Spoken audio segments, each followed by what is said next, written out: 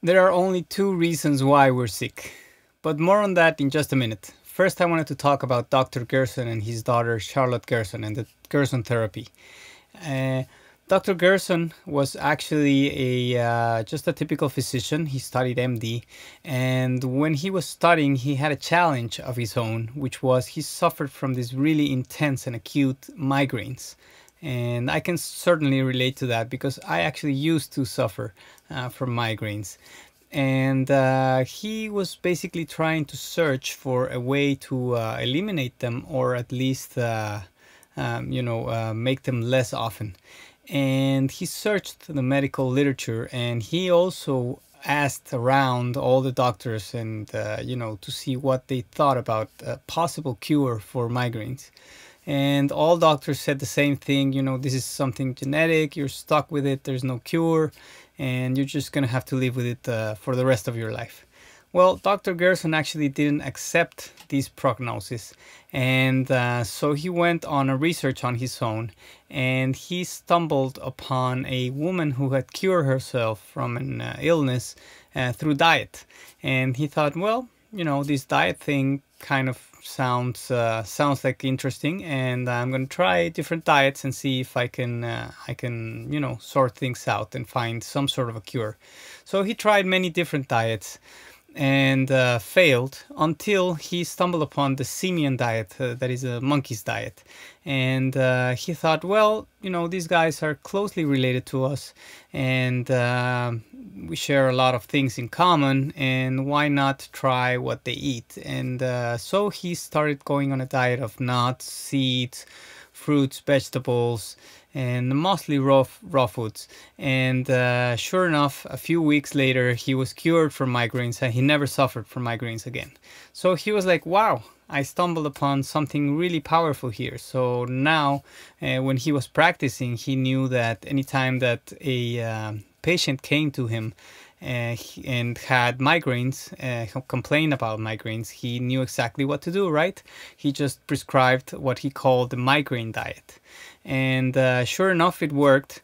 But then something else happened, which was uh, a patient of his actually came back and he said, Yes, I, you know, I got so much better with migraines, they're gone, but also my lupus is gone, my, my skin tuberculosis is gone. And he was like, wait, wait, you know that's that's not possible. Um, but uh, sure enough the patient showed him uh, with tests that uh, that had happened. So he thought you know what? It's worth investigating. Maybe there's you know something to this. And so he started treating uh, other patients of uh, skin tuberculosis uh, with the same diet that he was using for the migraines. And sure enough it started to work now, a uh, more famous doctor back then in Germany, uh, he picked up on what he was doing and he said, you know what, this is interesting. So uh, I'm going to take you um, and we're going to test, uh, you know, uh, I think it was hundreds of, uh, of patients with skin tuberculosis. And if even one of them gets better, then I'll, I'll publish the, the, the paper and so sure enough they tested and uh, they uh, they treated these patients and then they tested again and uh, almost hundred percent of them actually uh, went into full remission so at this point um, dr gerson was like you know what I didn't just find a cure for migraines or a cure for uh, skin tuberculosis. I actually found a way for the body to come back into balance. Um, and he discovered that uh, we can pretty much be uh, out of balance because of two reasons. It can be one, the other, or both. And the first reason why we are typically sick is because of toxicity.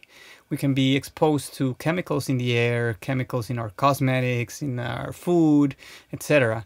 And so the body is not able to process that, that toxicity, and that is just staying in the body and causing uh, havoc uh, in our health.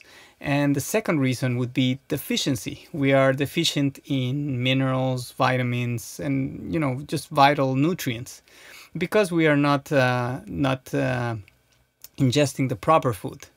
Now, um, this is the reason why uh, it makes sense to go, you know, on a diet that's based on plants and organics because uh, they haven't been exposed as much, at least, to pesticides, herbicides, fungicides. I mean, even if you're on, organ- on an organic diet, he did discover that uh, a big part of the problem is actually our soil and the soil is completely depleted today, right? We have uh, really, really damaged our environment to the point where the soil no longer has enough nutrients and enough vitamins and minerals that it needs in order to flourish and to provide with uh, with the nutrients that we need um, uh, to keep uh, consuming on a daily basis.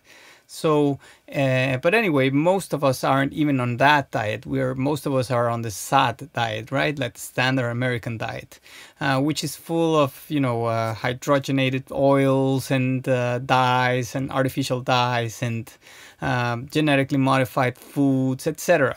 And of course, sure enough, we are suffering from that, which eventually leads us to go to a doctor. And then the doctor prescribes something which is, you know, some sort of chemical which is causing even further toxicity, uh, which, you know, lands in cardiovascular disease, which lands on, you know, so many problems.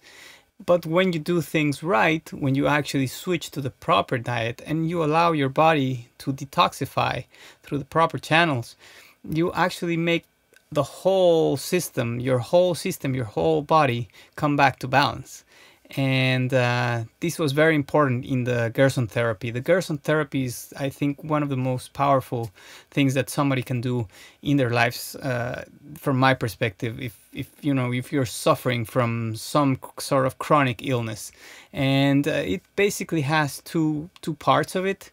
One of them is it tackles the toxification process, which is the the detox is handled through coffee enemas and then the uh, the nutrition, which is the deficiency problem, is tackled through mostly raw foods, mostly nuts, seeds, fruits, vegetables. What I was mentioning before.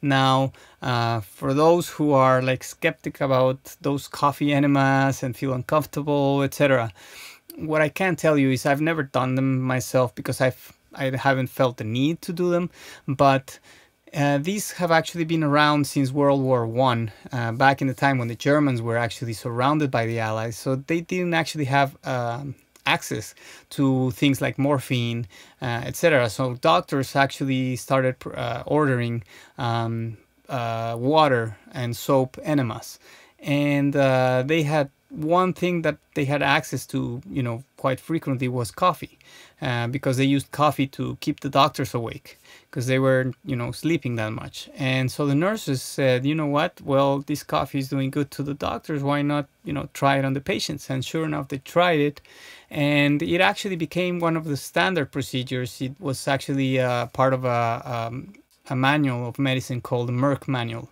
of uh, medical procedures, and um, it was erased in uh, I think in the 70s.